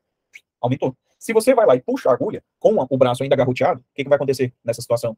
Na hora que você puxar a agulha, você vai ver o sangue fazendo o quê? Esguichando. Mesmo que a perfuração tenha sido de uma veia. Mas como está garroteado e o sangue não está passando por aquela região e não está voltando porque os vasos fizeram esse processo de contração das, das a pressão está elevada. Então, antes de puxar e tirar a agulha, o que, que se faz? Folga o torniquete. Quando folga o torniquete, o sangue volta a ter um fluxo normal, e aí a pessoa tira e depois aperta por cima para gerar esse processo de estancamento do sangue. Beleza? Dúvidas, povo? Bom, é, ao longo do tempo, o que, que vai acontecendo, galera? As veias, principalmente das regiões mais baixas, elas começam a ser muito é, demandadas e muito pressionadas. E aí isso pode gerar uma dilatação da parede. E com essa dilatação, você pode ter a formação de uma varize. Então, essa é uma veia normal, essa é uma veia varicosa. Olha a dilatação que aconteceu da, da estrutura, e mesmo que as válvulas tentem fechar, elas vão permitir o fechamento correto? Não. E aí o sangue vai fazer o quê? Voltar. Quais são os fatores de risco para o desenvolvimento de varizes? Meninos, primeiro fator de risco, idade. É muito mais frequente varizes em pessoas mais velhas do que pessoas mais jovens. Segundo fator de risco para o desenvolvimento de varizes, perfil genético. Se seus pais têm muitas varizes, aumenta muito a chance de que você tenha. Terceiro fator de risco, o sexo biológico. Tá? Então, meninas são mais frequentemente alvos de varizes do que meninos. Tá? Então, as mulheres têm chances maiores de desenvolvimento dessa variz por uma questão de regulação hormonal. Outro fator de risco, postura, né? Aquele momento que para quem estava aí assistindo a aula, parecendo um mandruvá estendido no chão, né? Levanta e senta direito, criatura ficar sentado numa mesma posição por muito tempo é, aumenta a chance de você for, formar essas varizes, né? Ou ficar em pé por muito tempo também aumenta a chance de você formar varizes, tá?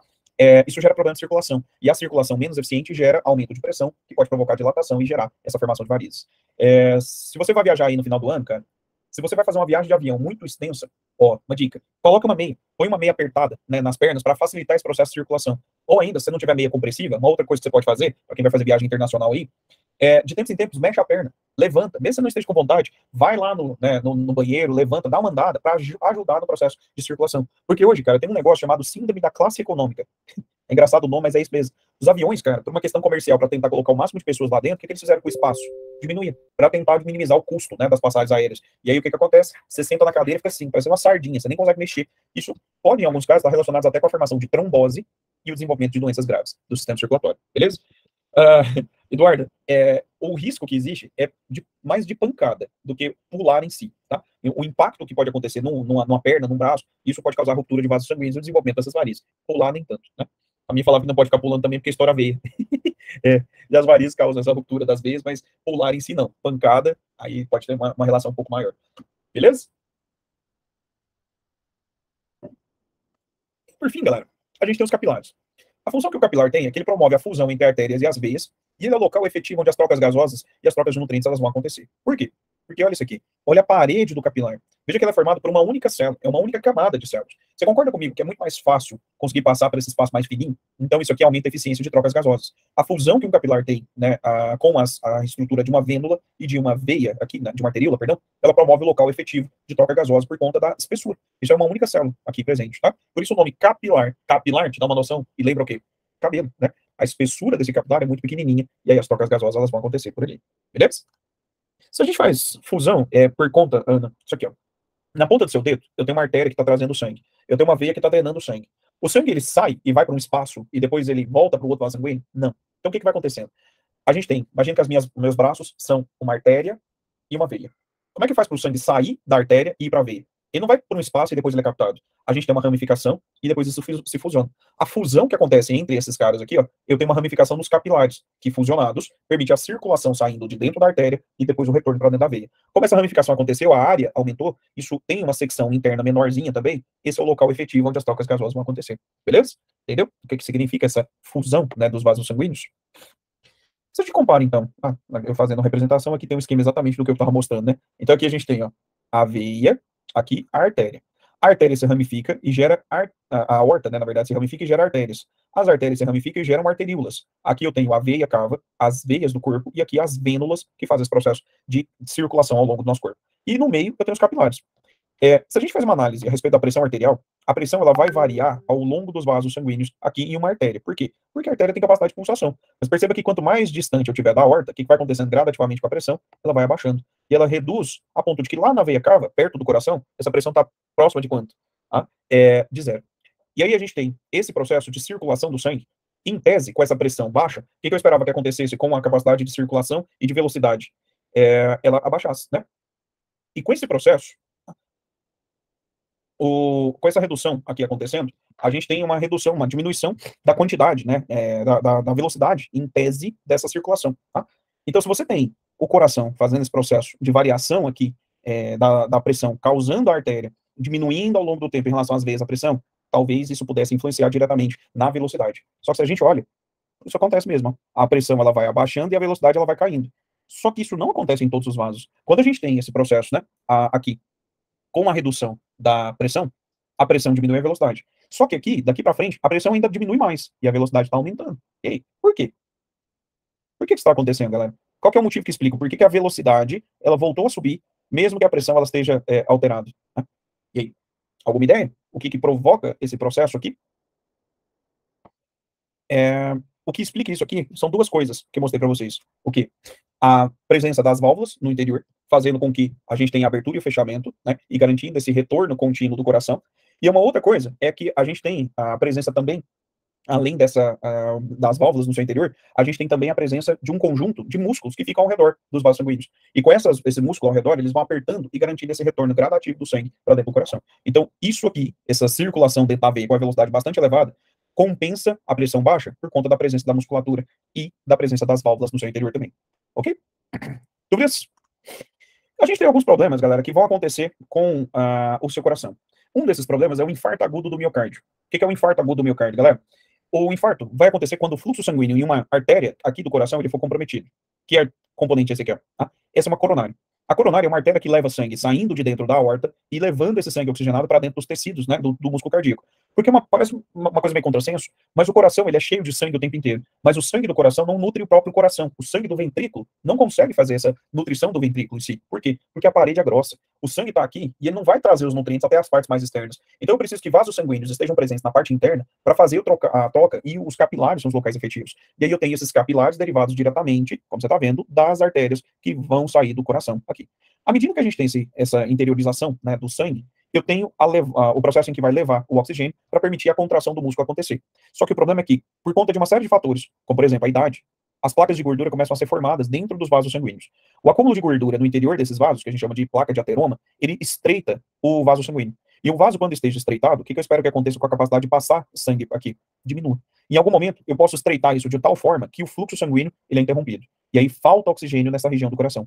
Se falta oxigênio nessa região do coração, o que, que isso provoca? A morte do músculo cardíaco o infarto agudo do miocárdio, tá? Infarto, meninos, não necessariamente acontece apenas é, do coração. Você tem outras partes do corpo que estão é, que podem infartar. Por exemplo, intestino, ele pode infartar. Né? Ah, você pode ter infarto do músculo da perna. Enfim, diferentes partes podem gerar esse processo de infarto, uma vez que o suprimento de sangue, eles ah, deixam de acontecer. E aí, à medida que esse sangue não está chegando, e a morte dessa célula acontece, isso causa uma, ah, uma série de alterações, como, por exemplo, a redução da eficiência cardíaca. Os uh, tecidos musculares, galera, eles têm o, o músculo esquelético, ele tem a presença de uma célula chamada célula satélite, que consegue fazer a regeneração. Mas o músculo cardíaco não tem isso. Então não existe capacidade regenerativa do músculo. E nessa situação, a morte do músculo se torna irreversível, provocando problemas graves, como redução da eficiência cardíaca naquele cara. Tá? O cara desenvolve insuficiência cardíaca por conta disso. Para gerar essa formação dessas placas, isso se deve à formação né, de alguns fatores de risco. Então tem alguns. Colesterol elevado, tabagismo, estresse, diabetes, hipertensão, obesidade, falta de exercícios físicos, tudo isso colabora com o desenvolvimento. Mas a gente adiciona alguns outros fatores também, como por exemplo quem? Você tem aí o perfil genético e, além do perfil genético, né, a questão da idade faz você ficar submetido a tudo isso de maneira mais intensa. Quando o indivíduo infarta, eu vou mostrar um videozinho aqui um pouquinho mais pesado agora, né? Você vai ver uma sequência de alguns vídeos um pouco mais tensos. O infarto, ele provoca, muitas vezes, a perda da frequência cardíaca normal. E aí o indivíduo, cara, ele começa a fibrilar. Então, eu vou mostrar um vídeo aqui que é a, o processo de formação de um infarto. Eles induziram um infarto em um coelho obstruindo por meio de um vaso sanguíneo, né, que foi introduzido lá dentro do coração, e filmaram isso por dentro, né, e do, do, do tórax. E olha o coraçãozinho, o que, que acontece com ele. Tá? Então você vê que o coração estava batendo todo bonitinho, certinho. Tá? É, e aí o coração, quando uma dessas coronárias que está aqui, ó, ela é obstruída, olha o que, que acontece com o coração. Olha a frequência cardíaca certinha, o infarto acontece. Tá? Quando o infarto acontece, olha o coração perdendo o ritmo. Tá vendo? Você viu que ele estava batendo tudo bonitinho, tudo certinho?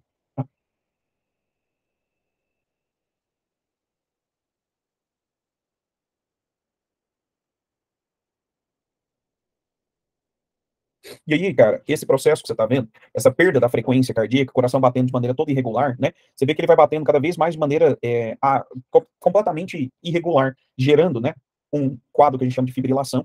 A fibrilação, ela começa a se tornar cada vez mais intensa, e isso provoca uma extenuação da fibra. E aí você vai ver que a frequência ela vai aumentando, aumentando, aumentando, de repente ela começa a gerar uma redução dessa frequência. Olha só.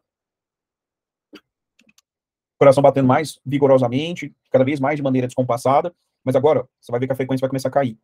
Ó, a frequência diminuindo, diminuindo, diminuindo. Isso é por conta do acúmulo de ácido lático que está acontecendo nessa fibra, porque não há fornecimento de oxigênio. Tá? E isso precisa ser rapidamente revertido. Isso pode ser avaliado, galera, por meio de um eletrocardiograma. E tem muitas questões de prova que vão falar a respeito dessa análise do eletrocardiograma e o que está acontecendo em cada uma delas. Lembra dos marcapassos que eu mostrei para vocês? Aqui em cima, galera, a gente tem uma onda que a gente chama de onda P. A onda P, ela é a onda que mostra a, descontra, a despolarização, o processo de contração por conta disso, do átrio. Então, essa primeira ondinha que você está vendo aqui, ela representa a sístole atrial. Então, o estímulo sinusal, o estímulo para que o coração ele faça a, a sístole da parte de cima. E aí? E aí, que, lembra que eu mostrei que o, o nó sinoatrial, ele manda a despolarização da parte de cima, mas a parte de baixo não se polariza imediatamente. Eu tenho um intervalo, que é aqui, ó, o chamado intervalo PR. O que é esse intervalo? É o atraso de condução do estímulo que saiu do nó sinoatrial até os ventrículos. De repente, eu tenho a onda QRS. A onda QRS é a despolarização do ventrículo. E com essa despolarização do ventrículo, o que, que o ventrículo vai fazer? ele vai entrar em sístole. Então eu tenho sístole atrial, atraso de condução, sístole ventricular. Essa sístole ventricular dá tempo para que o átrio que tinha se despolarizado e contraído, nesta fase, ele volte também a fazer uma repolarização e um relaxamento. E aí eu tenho o relaxamento do átrio acontecendo, ao mesmo tempo em que eu tenho contração do ventrículo. Depois, logo na sequência, o que eu espero que aconteça? O intervalo, a onda T, é a repolarização ventricular. A repolarização desse ventrículo, ela vai preparar o ventrículo mais uma vez para fazer uma nova sístole. Só que antes do ventrículo despolarizar, o que, eu espero que despolarize de novo? O átrio. E aí, mais uma vez, a gente repete isso aqui. Então, isso que você está vendo, galera, são dois, uh, duas batidas do coração. E esse intervalo que fica aqui, ó, os intervalos RR, representam o intervalo entre a sístole ventricular e a outra sístole ventricular. Tem muita questão de prova que coloca o eletrocardiograma e pede para você qual é a frequência cardíaca desse paciente. E aí, como é que eu vou saber disso? O que, que é isso? Não é uma contração do ventrículo? O que, que é isso? É outra contração do ventrículo. Cada quadradinho representa 0,4 segundos. O que, que, você faz? Conta o intervalo, conta quantos quadradinhos existem entre essas duas contrações. Isso vai representar qual o intervalo de tempo para uma batida no coração. Então vamos facilitar. Vamos colocar aqui, esse intervalo demorou um segundo. O que, que isso significa? Que o coração ele bateu uma vez a cada segundo, certo? Se ele bater uma vez a cada segundo, qual é a frequência cardíaca desse cara? É só fazer uma regrinha de três simples, né? Eu tenho uma batida em um segundo, em 60 segundos, X. E aí, qual é a frequência? Difícil, hein? Essa eu deixei bastante difícil para vocês. 60 batidas por minuto, né? Então, se eu avaliar o intervalo de tempo que existe aqui, eu consigo ver qual é a distância para que aconteça uma batida do coração. Em 60 segundos, você faz essa conta depois, beleza? Uh... Pra, para de nutrir? Sim, Vitória, para de nutrir. O estresse porque ele promove a gliconeogênese? Não só isso, o estresse aumenta a pressão. Tá? Ele morreu, morreu, né? O bichinho, não sei se ele morreu, mas acho que sim. E o nó atroventricular se localiza entre os átrios e o átrio, ou entre o átrio ventrículo. O nó atroventricular, ele se localiza é, o átrio ventricular ele fica aqui, tá? entre o átrio e o ventrículo, e em cima o sino atrial. Tá? O Ian, essa é uma lei, cara, que ele fala a respeito da questão da, uh, do estímulo de contração do músculo é, eu preciso lembrar lá da, da faculdade, lendo essa lei, que a frequência de contração e a eficiência de contração, ela dependia do volume de sangue que era colocado dentro. Era uma relação física, cara, que existia entre os dois. Mas eu preciso dar uma relembrada. Você tocou num assunto que não, eu lembro desse negócio lá na graduação, mas isso é, não, esquece, né? Pra, acho pouco provável que é um, nem para um NIRV cobre um negócio desse, né?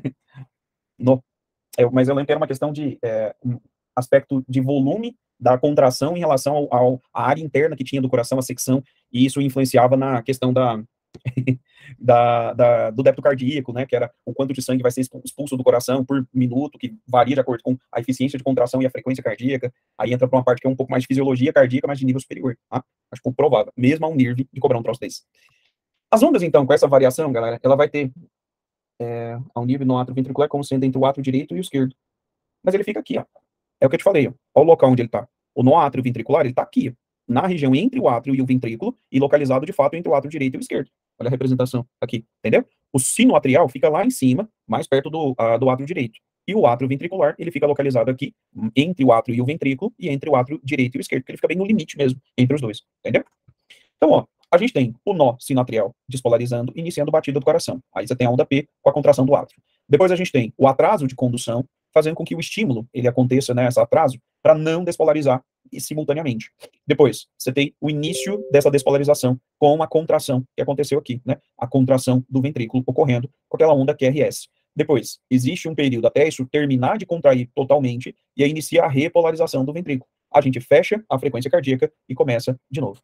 Despolarização gera a sístole. Então, logo na sequência, depois da despolarização, tem sístole. Olha aqui. A onda P despolarizou. Logo na sequência, eu tenho uma sístole atrial. Entendeu, Vitor? A onda P está mostrando a mudança da polaridade, causando logo na sequência esse processo de sístole. E depois o mesmo aqui, ó, a mudança da despolarização que aconteceu no ventrículo, e logo na sequência a gente tem a sístole ventricular. Quando o coração está batendo de maneira toda irregular, é necessário muitas vezes o uso de um desfibrilador. E aí, cara, o desfibrilador ele tem uma ação lá na física de capacitor. O que, que esse cara ele faz? Ele acumula carga e essa carga é aplicada sobre o peito do indivíduo para provocar o retorno do, da frequência cardíaca alterada para uma coisa mais parecida com o normal, tá? Então aqui a gente vê ó, o coração fibrilando, uma fibrilação atrial, né, uma fibrilação ventricular, perdão, e uma fibrilação atrial com uma alteração do eletrocardiograma normal. E aí o que é necessário fazer? Dar um choque. Todos esses vídeos que eu estou mostrando para vocês, meninas, eles estão hiperlinkados, tá? É só você clicar aqui, ó, por exemplo. E aí você consegue assistir depois na sua casinha, todos eles aí de novo. E eu vou te mostrar dois vídeos agora de uso do desfibrilador. O primeiro é um cara que ele afogou, e eles, uh, tava, ele estava em parada cardíaca, e aí faz o uso do desfibrilador, né? Na verdade, a frequência cardíaca não é que ele estava parado, ele estava né, com frequência bem lenta, e aí o desfibrilador faz esse retorno dessa frequência cardíaca. Então, olha só. Aqui você consegue ver os caras. É, o pulso muito fraco dele, e aí o desfibrilador, não, olha o choque. Na hora que dá o choque, olha a contração dos braços dele. Isso que você vê é o choque.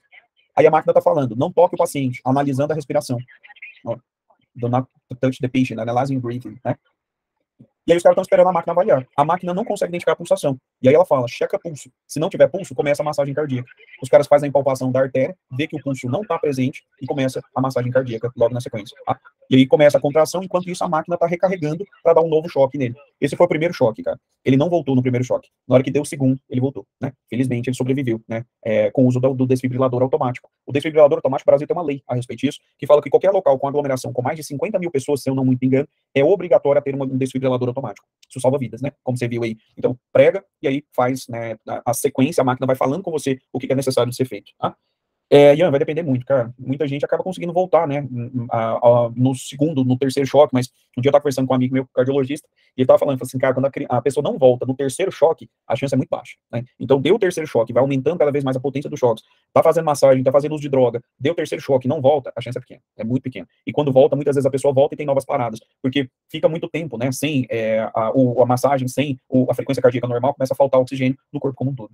Deixa eu te mostrar um segundo vídeo. É um, segundo, um vídeo que mostra um transplante cardíaco e o coração está fibrilando após o transplante. Depois que é, a fibrilação acontece, os caras dão um choque direto no coração do indivíduo. Olha aqui. Você consegue ver o coração fibrilando, né, batendo todo irregular. As pás do desfibrilador vão dar o choque direto no coração.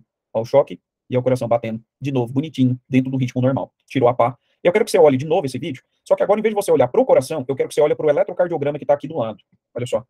O eletrocardiograma aqui, com alteração, a fibrilação, o coração batendo todo irregular, o choque. O que, que o coração faz? Ele para e depois ele volta a bater no ritmo correto, né? A frequência cardíaca acaba sendo restabelecida naquele indivíduo, tá? Então o coração estava batendo todo irregular, o choque, ele serve literalmente para resetar o batimento cardíaco, resetar essa contração, provocando uma contração vigorosa do músculo, para depois fazer com que o marca-passo volte a manter a frequência cardíaca dentro da normalidade.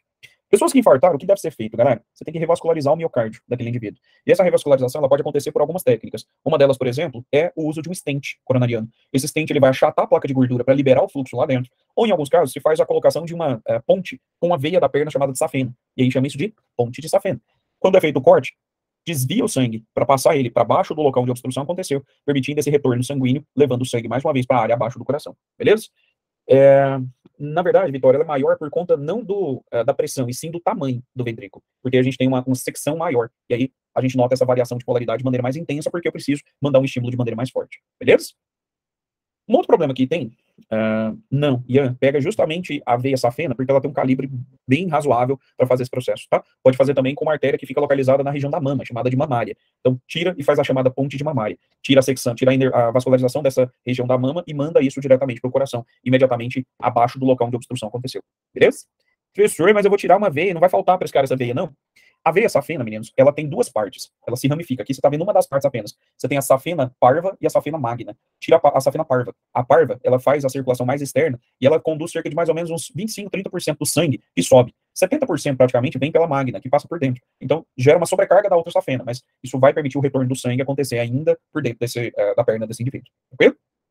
Outro problema grave que acontece é o AVC. AVC é a sigla para acidente vascular cerebral. Qual é o problema que acontece no caso do AVC? Um coágulo de sangue que é formado aqui, ele pode obstruir a chegada de sangue em uma área do cérebro. Sem sangue, essa parte acaba morrendo. Tá? E aí, dependendo da área do cérebro, você vai ter consequências diferentes, né? O AVC hemorrágico vai acontecer quando existe uma ruptura dos vasos sanguíneos, causado por um, um muitas vezes isso aqui, ó, um aneurisma. Essa é a artéria. Isso é uma dilatação da artéria.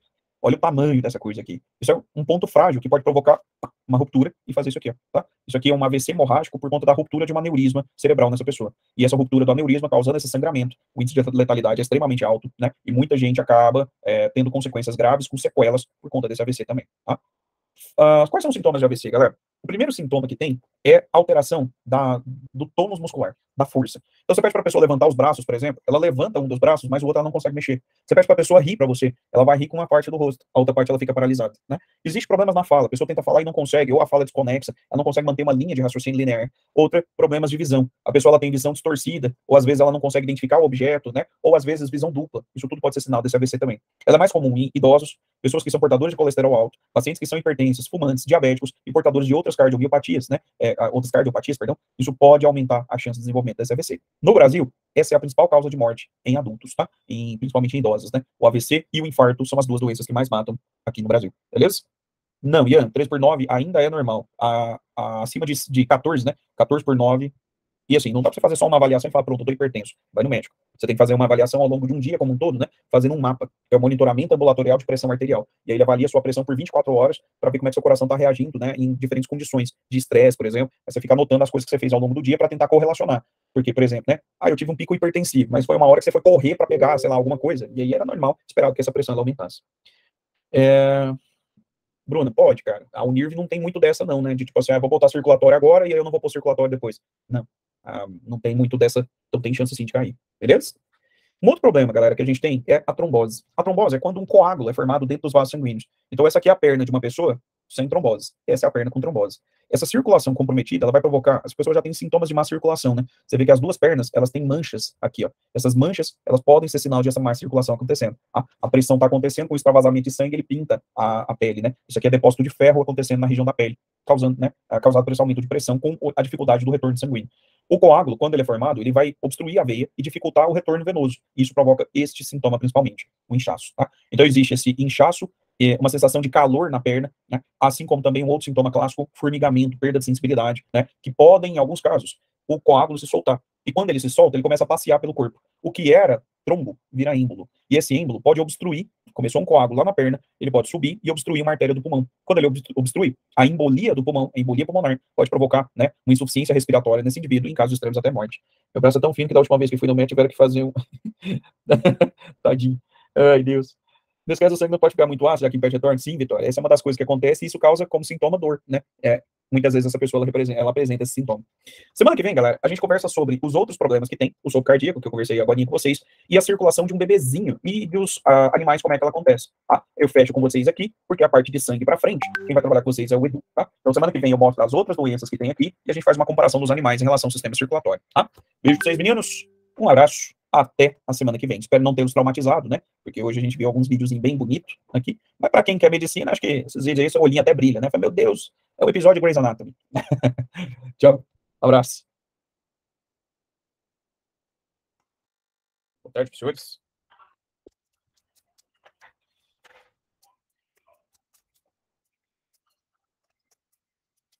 Bom, meninos, seguinte. Na aula passada, eu tinha parado com vocês discutindo a respeito né, da parte do sistema é, circulatório sobre os problemas que estão associados ao sistema circulatório em si, né? Então, eu te mostrei a parte de AVC, de infarto, né? Traumatizei alguns de vocês mostrando um videozinho mais tenso aqui. É, a gente discutiu sobre eletrocardiograma, como é que interpreta, o uso de desfibrilador. E eu mostrei para vocês processos como, por exemplo, a embolia, que nada mais é do que uma complicação que existe é, de um um coágulo, não, a, a, formação de um trombo nas pernas. E um outro problema que está associado ao sistema circulatório, galera, é o sopro cardíaco. O sopro cardíaco é um defeito do fechamento que a gente tem das válvulas do coração. Se esse fechamento ele não acontece de maneira correta, isso gera um som característico que vai provocar, então, né, um refluxo, um retorno. E a gente estava discutindo sobre a parte do coração dos, uh, dos animaizinhos. Em invertebrados, o sistema circulatório ele pode ter a presença de dois tipos principais: aberto, também chamado de lacunoso, ou fechado. O sistema circulatório do tipo fechado é aquele que o sangue em nenhum momento ele vai deixar os vasos sanguíneos. Qual é a vantagem de um sistema circulatório como esse, meninos? É, isso aumenta a velocidade de condução. Tá? Animais como os artrópodes, a circulação se torna mais lenta. E a circulação lenta, o que, que ela faz? Diminui o processo de eficiência mesmo, né, que esse sistema circulatório ele possui.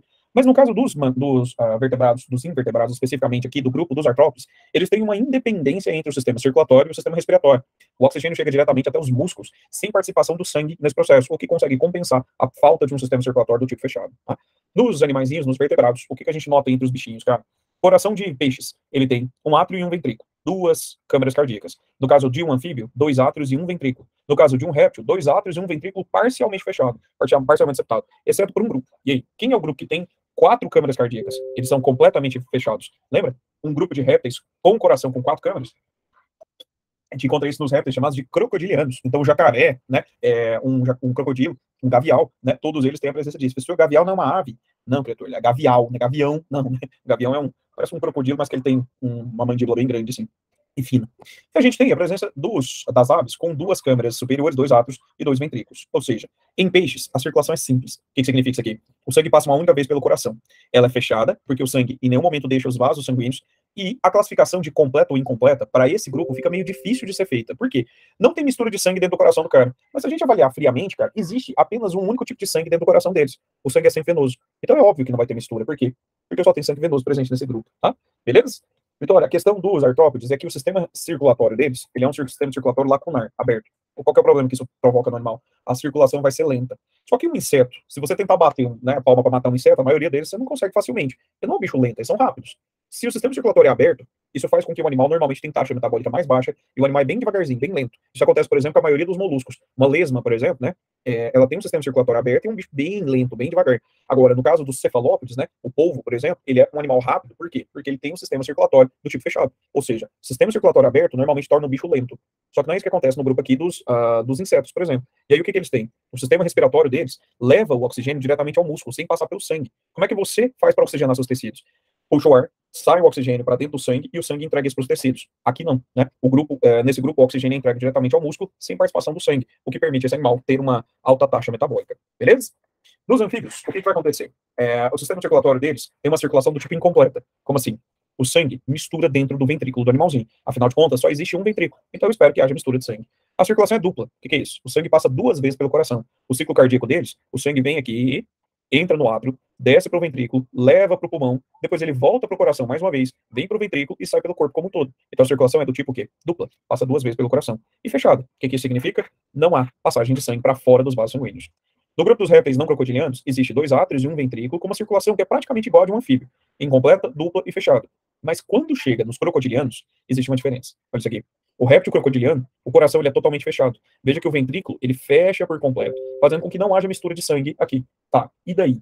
E daí que a mistura de sangue não acontece dentro do coração, mas ela acontece fora, por meio dessa pequena comunicação que existe aqui, o chamado forame de Panisa.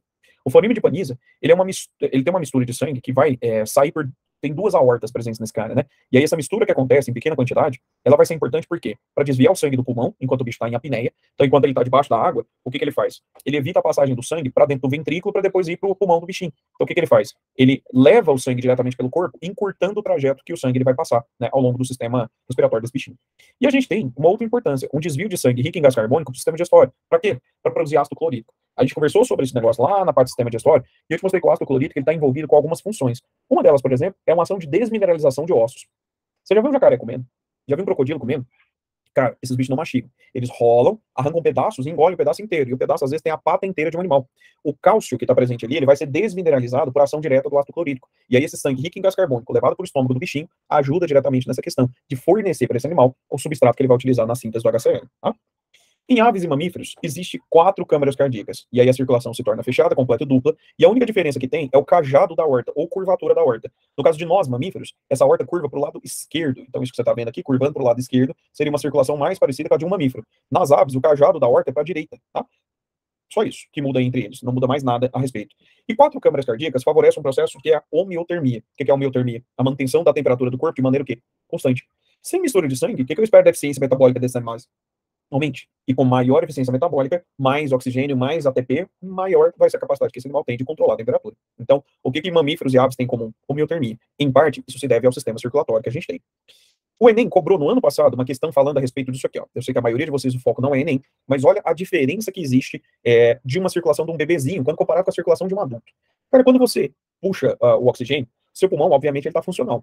Só que o bebê, dentro da barriga da mãe, o pulmão dele está funcionando? Não. E aí? E aí que existe uma diferença da circulação deles. Olha isso aqui, deixa eu só voltar para você ver as setinhas. O sangue chega do átrio, e aí o trajeto que eu esperava é que ele descesse para o ventrículo direito, mas ele não faz isso. Ele passa para dentro do átrio esquerdo, para depois ir para o ventrículo esquerdo, e daqui ele se distribuído pela horta, sem passar pelo ventrículo. Tá? Isso, o forameal, Marcelo, exatamente. E aí, galera, durante esse processo, quando existe essa passagem daqui, a gente tem uma comunicação chamada comunicação interarterial, ou forame oval, presente aqui. Para que, que isso é importante, essa comunicação interarterial? Né? Para desviar o sangue, evitando que o ventrículo direito bombeie sangue para o pulmão. Afinal de contas, para quê? o menino dentro da barriga da mãe, o pulmão dele tá funcional, ele tá lá dentro da mãe, dentro da barriga, um líquido amniótico, né, descendo para dentro do pulmão do moleque. Cara, o pulmão tá paralisado, o pulmão não está funcionando. Então o bebezinho anula a ação do ventrículo direito de bombear sangue para dentro dos pulmões, fazendo o sangue ser desviado para dentro do átrio esquerdo e do átrio esquerdo para o ventrículo esquerdo e depois distribuído pelo corpo como um todo. Professor, mas pera, se esse processo está acontecendo, como é que essa criança vai oxigenar o sangue dela? Aí entra a parte legal. A placenta faz esse processo. Se você pensar num adulto, ou a veia cava inferior, ela traz um sangue que é o quê? pobre em oxigênio. Mas nessa criança, a veia cava inferior, que está vindo a partir de vasos sanguíneos, que são derivados das veias umbilicais, cara, ela está trazendo esse sangue já oxigenado para dentro do coração da criança. E aí essa comunicação aqui desvia o sangue, de maneira que o sangue, o que, que ele faz agora? Ele vai do átrio para o outro átrio, para o ventrículo e depois para o corpo. E aí ele volta para dentro do coração. Quantas vezes o sangue passou? Uma. Se o sangue passou só uma vez, a circulação passa a ser uma circulação de que tipo? Simples, e não dupla, igual a gente uh, normalmente encontra. Qual é o único grupo de vertebrados que tem circulação simples? O peixe. Então, a circulação de um bebê, neste aspecto, por fazer o sangue passar uma única vez pelo coração, ela se assemelha à de um peixe. Mas pelo aspecto de haver uma mistura de sangue é, por meio de uma abertura, isso se assemelha ao coração de um outro cara. Com quem? Quem que é o carinho que eu mostrei para vocês? Que fazia uma abertura que permitia o sangue acabar se misturando os crocodilianos. E aí o sistema circulatório de um bebê, ele parece com um crocodiliano por conta da presença da comunicação, mas ele parece com o de um peixe, porque o sangue ele passa uma única vez pelo coração desse bichinho. Tranquilo? E aí aqui, ó, a gente tem os átrios com essa abertura, que é importante, sim, mas é importante aonde? No bebê. Em você, indivíduo adulto, esse forame pode estar aberto? O que você acha? Sim ou não? Eu posso permanecer com esse forame ainda aberto num indivíduo adulto? Não, cara. Por quê? Porque se o bebê tiver essa abertura, acontece a comunicação do sangue que está no lado direito e do lado esquerdo. E aí, galera, esse é o pior tipo de sopro que pode acontecer, Marcelo. Existe um som característico que também é visto quando esse sangue está circulando aí. E aí esse sangue, esse sopro, né, que o nome de sopro não é tão técnico, não é tão correto, nesse caso, a gente chama isso de FOP. O que é FOP? Forame oval patente. Nesse caso, quando o indivíduo já saiu de dentro da barriga da mãe dele, isso vai diminuir a eficiência é, da circulação. E isso pode prejudicar bastante esse cara em relação ao desenvolvimento global do corpo dele. E o principal problema que isso provoca desse indivíduo ainda é um aumento de risco de coágulos. E esses coágulos aumentam o risco de AVC. Eu estava dando essa aula aqui também sobre esse tema em uma escola trabalho, cara, e aí uma menina veio falar que a mãe dela tinha FOP e não sabia. E por conta disso ela teve um AVC. Ela teve um AVC isquêmico com 40 e poucos anos. E aí foi fazer a investigação, a menina também tem FOP, né? Isso é um erro grande que provavelmente os médicos deixaram passar. Porque a menina, ela tem todos os sinais típicos do FOP. Qual é um dos principais pontos que você acha que isso aqui vai provocar? Pensa numa adolescente com FOP. O que você acha que ele tem? Principal sintoma que você vai notar: baixa crescimento, baixa estatura, falta oxigênio para as células manter metabolismo, cara. Então, a curva normal de acompanhamento pediátrico, né, é, se você está vendo que a criança está abaixo normal, você tem que investigar o que está causando aquela causa, né, de baixa estatura, de baixo crescimento. Outra, palidez de pele, né, extremidades frias. É, ela falando que ela tem dificuldade de fazer exercícios físicos, ela tinha todos os sinais clássicos do FOP e ninguém percebeu isso. Chegou até, ela está com 17 anos agora, né, e aí o médico falou que provavelmente ela vai ter que fazer uma cirurgia para fechar isso aqui. Professor, como é que é a cirurgia? Pode ser por via endovascular, e aí coloca um balãozinho que fecha aqui, ou em alguns casos por cirurgia aberta, né? Mas normalmente é por via endovascular, coloca um catéter, vai até a, essa região e obstrui, permitindo com que os dois átrios, eles não façam mais comunicação, beleza? Então sai do lado direito, vai para o lado esquerdo, ventrículo, pulando ventrículo direito, perfeito, é isso aí, Vitória. É o que acontece no caso da circulação. Então o sangue oxigenado vindo da veia cava vai ser desviado e já distribuído pelo corpo, porque não há troca gasosa no pulmão, certo? Dúvidas? Alguma dúvida quanto ao sistema circulatório? Na aula passada, eu falei para vocês que a gente tem, galera, a parte, nesse slide, eu mandei um slide maior para vocês que tem a parte de sangue tem a parte de imunitário. Quem vai trabalhar isso com vocês é o Edu, tá? Dentro da frente dele, dentro da parte de histologia, ele vai mostrar essas partes aqui para vocês. Então, finalizada a parte de sistema circulatório, na aula de hoje, vamos conversar sobre outro sistema. Eita, professor. Vamos conversar sobre o sistema excretor, né? E aí, crianças, para que, que serve o sistema excretor? Quais são as funções associadas a esse sistema? A função mais óbvia, qual que é? Excretar, tá? Tá, mas o que, que seria esse excretar? A eliminação de produtos nitrogenados. E aí a gente tem a origem desses produtos nitrogenados vindo através do metabolismo de proteínas e ácidos nucleicos, que os aminoácidos e as bases nitrogenadas têm a presença de um grupo amino. Esse grupo amino, em excesso, ele é tóxico. O que, a gente tem que fazer com esse negócio? Jogar ele para fora do corpo. E aí o processo de excreção que acontece aqui, galera, é, ele vai acontecer por meio de algum produto nitrogenado que esses animaizinhos ele libera. Quais são os principais produtos? Esses três caras aqui, ó. A gente tem, primeiro deles, amônia, segundo deles, ureia, o terceiro deles, o ácido úrico. E aí existe uma relação, galera, entre esses três componentes, de maneira que o ácido úrico é o que gasta mais energia para ser sintetizado. E a razão tá aqui, ó. Olha a estrutura do ácido úrico e olha a estrutura da amônia. Você está vendo tudo que a amônia é parecida com o grupamento amino? Então não precisa gastar praticamente nada de energia. A, o ácido úrico, existe um gasto energético grande na sua formação. Só que a vantagem de excretar amônia seria a economia de energia. Mas qual é a grande desvantagem de excretar amônia? Ele é o mais tóxico de todos. Se o negócio é muito tóxico, para diminuir um pouco da toxicidade, o que, que um animalzinho tem que fazer? ele tem que diluir aquele componente. Porque se o troço é, no, é muito tóxico, mas eu diminuo a concentração, o que, que eu espero da toxicidade? Ele abaixa, certo? Então, para diluir, o que, que eu tenho que fazer? Perder muita água. O animal que excreta amônia, chamado amoniotérico, via de regra, como ele tem que perder muita água para fazer isso, esses bichos vão viver em que tipo de habitat? E aí, a, a, animais amoniotéricos, onde é que esses bichinhos vivem? Na água. Já os animais que são ureiotéricos e uricotéricos, eles têm como vantagem a menor é, gasto de água para fazer essa eliminação, mas apresentam uma desvantagem. Qual é a desvantagem de fazer esse processo de eliminação da ureia e do ácido úrico? O gasto energético é maior. Então, nós, o que, que nós somos?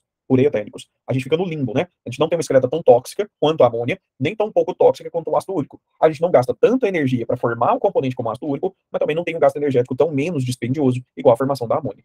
Animais amoniotéricos são os bichinhos de água doce, né, os peixes ósseos de água doce. O, a maioria dos animais aquáticos tem isso aqui também. Os mamíferos, eles são ureotéricos, assim como a maioria dos anfíbios e dos peixes cartilaginosos. Enquanto aves, répteis, insetos e outros organismos, né, os caracóis terrestres, por exemplo, eles fazem excreção de ácido úrico, que é um produto menos solúvel e menos tóxico também. Beleza? Então essa é a principal função. Mas é só isso que o sistema excretor faz? Não. O sistema excretor está associado com várias funções que, em, uh, que estão relacionadas com o controle de um negócio que a gente chama de homeostase. Então, a função que o sistema excretor tem é eliminar substâncias que estão em excesso para manter o equilíbrio, né, o chamado equilíbrio dinâmico, para o bom funcionamento das células em relação ao meio.